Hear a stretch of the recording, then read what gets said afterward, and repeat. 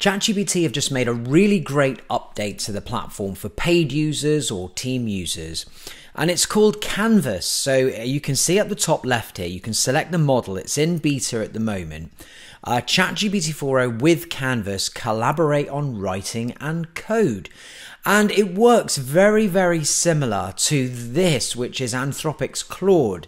You might remember they released artifacts a few months back now, where you kind of work on the left and then what uh, you are creating appears on the right.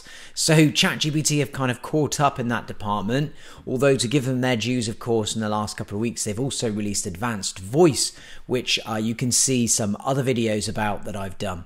But this is really good, and one of the things that it's best at is creating content, uh, like particular, say, a blog article. So all we need to do is just start as normal by adding a prompt in down here, and I'll show you how you can craft a fantastic blog post using ChatGPT now, probably better than you've ever been able to do before. So first of all then, can you create me a 1000 word article on how businesses can use artificial intelligence to save money and also increase sales? There we go. So there's our initial prompt. And you can see it's put it into this window. It's just opened it straight on up into this two piece now. The main content being here, blasted out by 4o. And then on the left hand side, we're now working with ChatGPT as a kind of collaborator to make this blog post the way that we want it and the very, very best. So it obviously uh, takes a few seconds to just write the article, but still, you know, pure miracle level. Let's be honest. A couple of years ago, we would have been, uh, you know, blown away by this, but now we're, we're getting used to it, aren't we? But here you go. So there it says on the left um, I hope this article meets your needs, Jason. If you have any suggestions for tweaks, uh, specific examples you'd like added, or you want a different tone, feel free to let me know. So, what we have here now is some cool options. We can carry on talking to it and just saying, I've had a read of it, I'm not so keen on this bit, or can you make it sound more fun? Uh, or we can change the tone, for example. So, I'm just going to say, can you change the writing style to a journalistic style.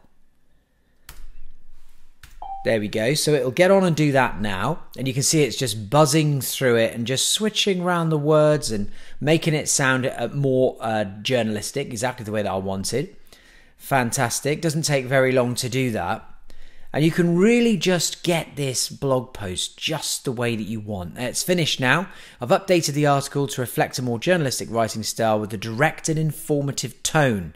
So that's great. Now, just down here, we've got some new features, which again, really make this whole process uh, a lot simpler. So at the top, we can add emojis if we want to to the uh, blog post.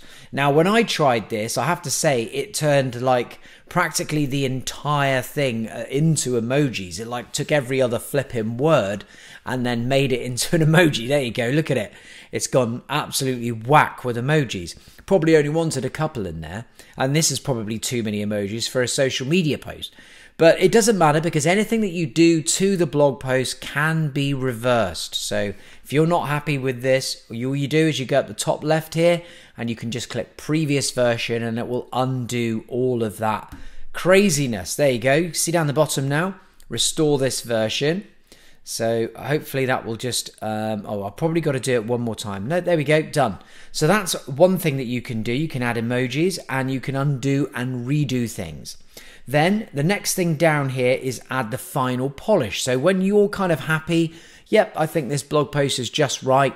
What you can do is just give it that little uh, final polish where it'll go through, check grammar again, not quite sure it would need to check grammar on itself, but there you go. That is kind of uh, you know what it does anyway, isn't it? Right, perfectly. But it says you know just polish it up and make sure it sounds good. Thing it also uh, make sure that the words flow nicely and it's easy to read to. And speaking of that, reading level. Check this out. You can go up high school, uh, college and then graduate school, and that's as high as you can go. But also, you can go down as well. So you can go down to middle school level, and then right down here to kindergarten level.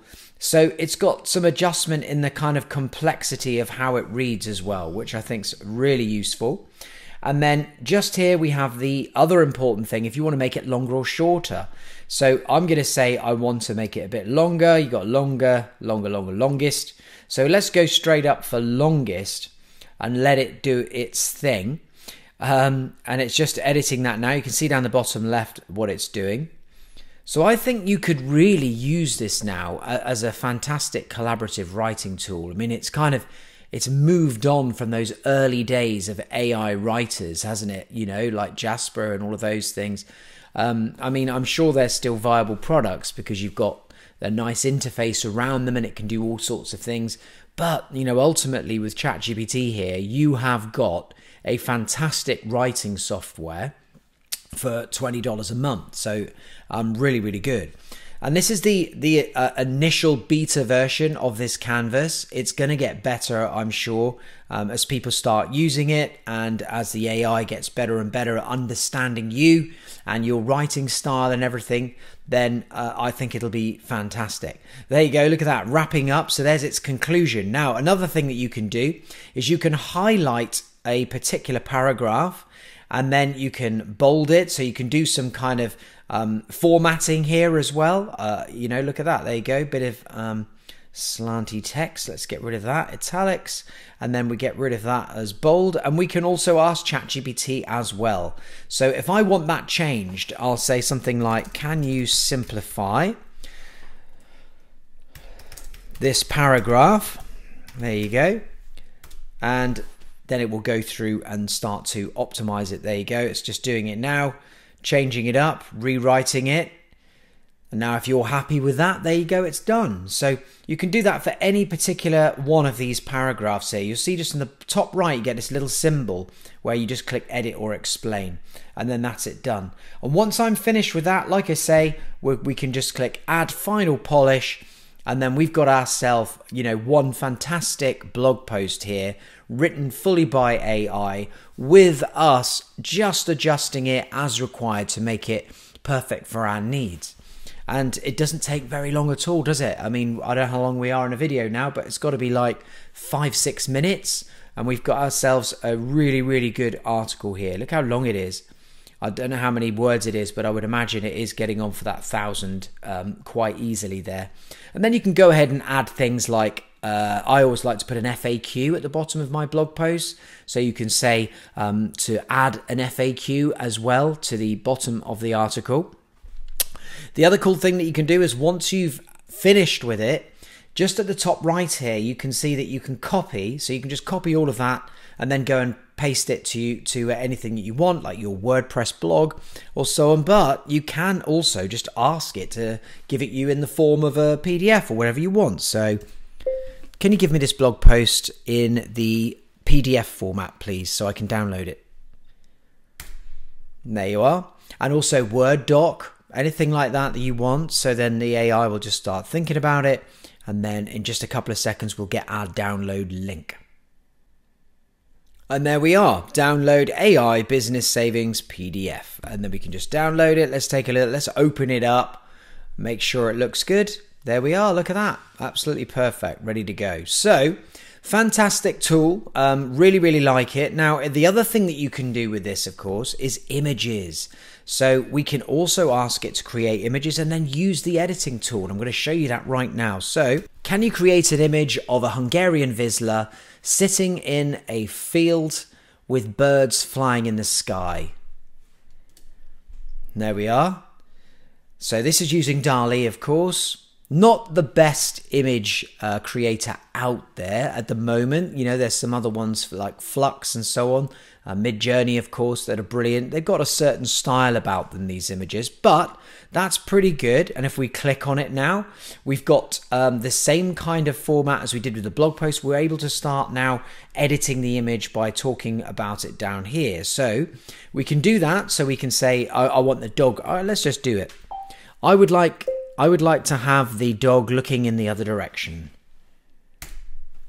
Let's see if it will adjust it. I didn't actually specify which direction, did I? So, but this is how you would do it. You can just keep reiterating and chatting with it. And then I'm going to show you another really good feature. I wouldn't exactly say that it's well, it is looking a tiny bit different, isn't it? But hardly at all. So if you're not happy with it, let them know. I always put that and then just put I just put didn't follow instructions. Even you know has moved it a little bit, but not that much. But just look up here, and now you can just go and select. So let's say we want to select this particular bird here, and then we'll just get rid of it like that. Uh, that little bit there, there we go. And I can just put down the bottom right here remove bird.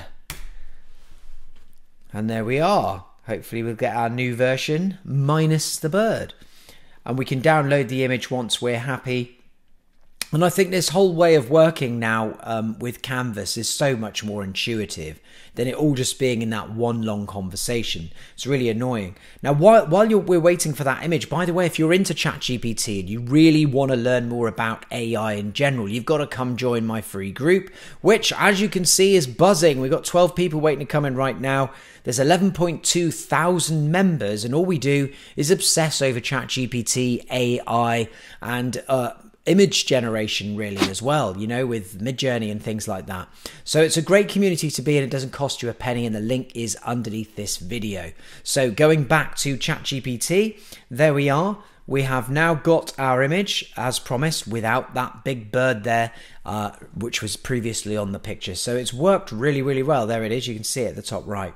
So i'm i'm quite a big fan of this. We can download our image just there save it and we're good. So this new Canvas feature, as I say, is it, it is for people who are on the Plus account and it's in beta. I don't know if everybody's got it yet either. So if you go up to the top left here um, and you don't see it there, then don't panic. I'm sure it will roll out very, very soon. But I hope you found that useful and I hope you enjoy it. I'll put a link to this page as well underneath, which will go over it. Because the other the good thing that it can do is it will it's really good for coding so that you can be coding on the left, it's showing you what's going on in the right, and then you can make adjustments to it as well, just like we did with the blog post article. I'm not a coder, so I didn't try to pretend to be in this video, but I think you'll find it super useful for that, and you can see um, on this page here the various use cases for it. So that's it. Thanks a lot for watching. Don't forget to like and subscribe for more, and I'll see you in the next video.